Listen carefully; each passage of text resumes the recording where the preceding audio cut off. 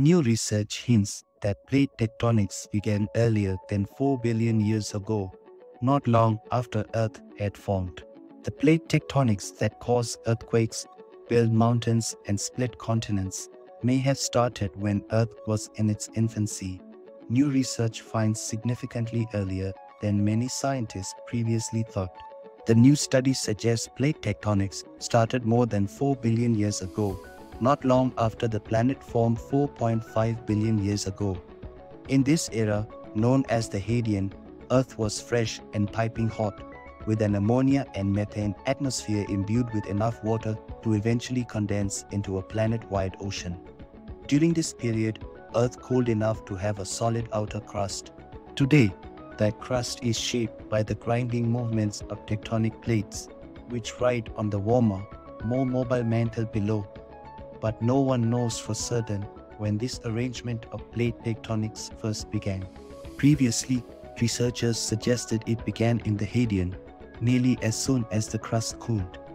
Others think plate tectonics started around 3.2 billion years ago, when geochemistry reveals some key changes in the crust makeup. Others argue the phenomenon is even more recent, evolving to its modern form in the last couple of billion years. Scientists have struggled to determine exactly when plate tectonics began because there are no surviving rocks that are more than 4 billion years old, so the only direct window into the Hadean comes from tiny, tough crystals known as zircons, the oldest of which date back 4.4 billion years. A subset of those, known as S-type zircons, can reveal the presence of plate tectonics.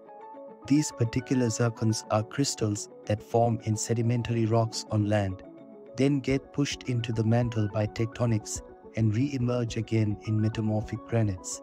The problem is that S-type zircons can't be easily identified by one single feature, but instead by a whole suite of trace minerals. In the new study, published in the journal PNAS, researchers used a machine learning model to make this task easier. The scientists first fed the model data from 300 zircons of known origin and then tested the model's ability to determine whether 74 more zircons were S-type or not. With the model trained to differentiate between zircon types, the team next applied it to 971 new zircons from the Jack Hills of Australia, where most of the oldest zircons on Earth are found. The results indicated that 35% of the Jack Hills zircons were S-type. Some of these date to 4.2 billion years ago, suggesting that plate tectonics was moving rocks from the crust to the mantle and back again during the Hadean. The research isn't the first to hint at very ancient tectonic movement.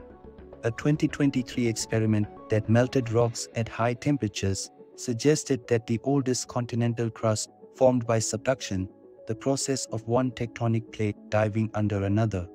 Some studies even suggest there may have been early continents during the Hadean, but the new study probably won't reconcile all of the controversy.